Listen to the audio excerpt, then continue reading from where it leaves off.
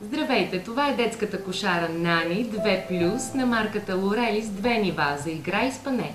Комплектът съдържа основна конструкция, ниво за спане, матрак, семик с играчки, поставка за повиване на детето и удобна чанта за транспортиране.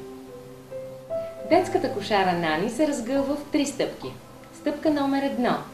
Трябва да поставим краката в основата на конструкцията. Стъпка номер 2. Разгъваме противоположните страни до най-горно положение, като за целта трябва да чуем заключващ звук. И стъпка номер 3. Притискаме средата на основата до най-долно положение. За да поставим нивото за спане на кошарата, първо трябва да сглобим металните конструкции, за да я стабилизират.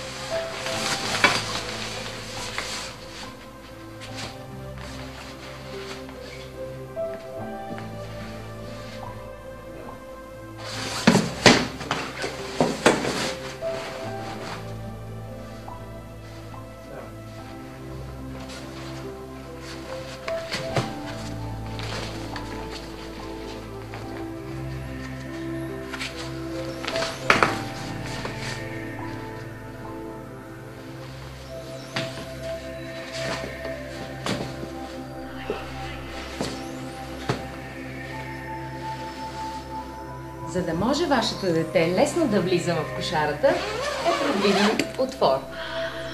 Това беше детската кошара Нани 2 нива плюс на марката Лорели.